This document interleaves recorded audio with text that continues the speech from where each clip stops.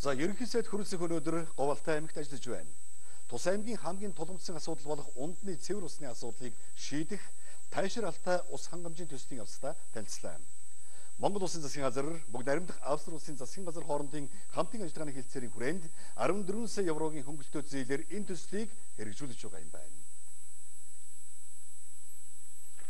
Алтан хотын ус нөхөн амын ундны усны стандартыг хангадаггүй.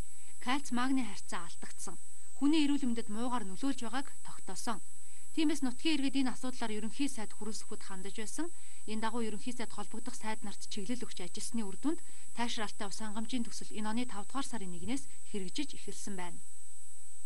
Та бүхний маань ажлын үр дүнгээс одоо алтаачуудын эрүүл мэнд ажил амьдрал одоо бүх юмтай холбоотой олон жил ярьсан төсөл одоо хэрэгжинэ. Одоо ч амжилт төсөө өнөр сайн ажиллаарай. Цаг хугацаанд нь чанартайсаа оруулах хэрэгтэй.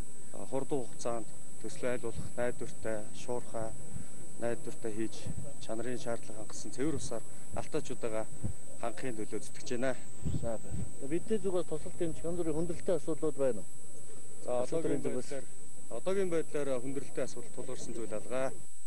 Төслийг хэрэгжүүлснээр иргэд цэвэр цэнгэг гадаргын ус хэрэглэж халдварт өвчний тархалт болон усны чанараас үүдэлтэй өвчлөл эрс буурна гэж үзэж байна. Цаашлаад нийт хүн амын амьдралын түвшин сайжрахад ч нөлөөлөх юм а.